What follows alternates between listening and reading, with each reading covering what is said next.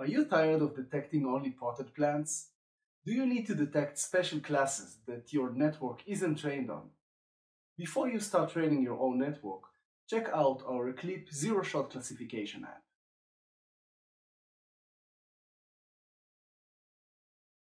I'm Gilad Nahor, Hailo's makers and developers community leader. I'm excited to introduce our CLIP-based application, a game-changing tool for makers. This app allows you to classify new object without the need to retrain your network, all by using a simple text prompt. Clip is a multi-modal framework capable of processing both image and text input, aligning them into a shared embedding space. This enables direct comparison between images and text. Our Clip application runs zero-shot classification, meaning it can classify objects it has never been explicitly trained on. In the demo you're about to see, using the default setup from our GitHub repository, we will classify various objects I found around the office, moving from the easiest to the most challenging. The only inputs to the application are the text descriptions you'll see in the GUI. No retraining was involved.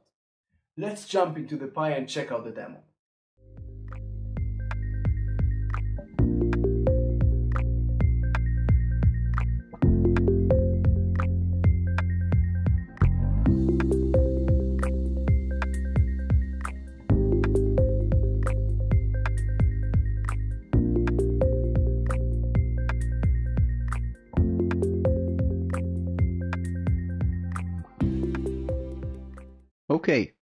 So I switched to my Ubuntu machine to use the xwininfo tool. This tool allows me to capture the Xwindow ID and use it as an input for our application. This step will help set up a few things in advance. Once you have the window ID, you can run the Clip application with it.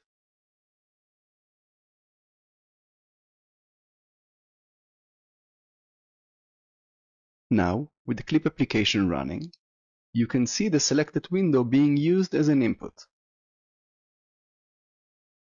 Let's go over the UI elements. The threshold slider.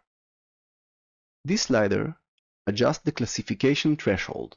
Any classification with probabilities lower than the set threshold will be ignored. Negative checkbox. When checked, this option marks detections as negative prompts. Although included in the softmax calculation, it will not be qualified as a detection. We will explore how this feature works later. Ensemble checkbox. This enables ensemble mode, as described in the original clip paper. In this mode, the prompt text embedding is calculated with multiple variations to improve classification accuracy. For example, a prompt like a photo of a dog would generate an average embedding between variations such as a photo of a dog, a photo of a small dog, and a photo of my dog, etc. This can improve accuracy in some cases. You can view the ensemble template details in the text image matcher file. Text description. This is the text input for classification, used to describe the object you want to detect prompt prefix. This is set by default to a photo of a. It is recommended by the clip paper and generally improves accuracy. For example, using a photo of a person often yields better results than just a person. Keep in mind that most of the original captions and images used for clip were sourced from the internet, so a photo of a person is more common in the dataset than just a person probability bars. These display the real-time probability scores for each classification. Load and Save buttons. These buttons allows you to save and load text embeddings to and from a JSON file. Track ID. This is used in the person detection mode, which we will review later. It helps mapping specific track IDs to the probability bars. Quit button closes the application. Now that we've covered the UI, let's move on to some prompting tips. Let's go over some usage examples and prompt tips. We'll start by adding a simple prompt. As you can see, in real time, the text is embedded and compared to the input image. For instance, we have 100% probability that this is indeed a dog. Let's also try adding cat and mouse as prompts. We still get very high probability for dog, and classifying cat or mouse also works perfectly.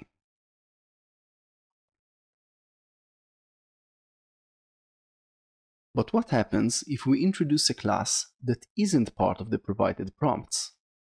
In this case, the best match will be selected, and it's not always what you expect. For example, as you can see here, an elephant falls somewhere between a dog and a mouse. We use softmax on the model outputs to amplify the higher scores and suppress the lower ones. This helps stabilizing the thresholding process. However, it's still not a perfect solution. Notice that when I move the input image slightly, small changes in the image cause drastic changes in the output. This instability doesn't happen when we're trying to classify an object that has a matching prompt, for example, mouse in this case. This is because it has much higher similarity score compared to dog or cat, and the softmax we use ensures that its score remains stable. To conclude, one of the main challenges is the absence of a background class. The way to counter this is by adding a general negative class. Its role is to act as a default match, which will get the highest probability if no positive prompts are detected. A good example of a negative class here might be animal. Now, you can see that the animal class takes most of the probability, and small changes in the input don't affect the output as much. If we mark it as a negative example, the results are pretty stable.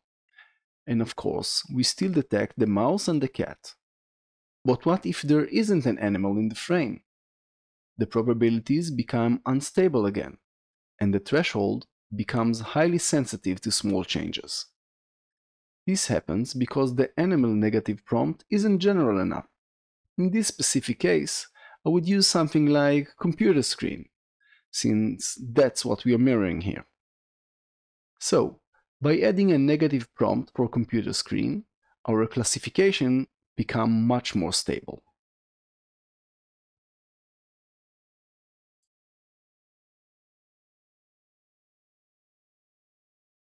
Let's switch now to the person detection mode. To enable it, we will add a detector flag with the person mode. Additionally, we will use a JSON file to save our work. In the person detection mode, we first run a person detection on the frame.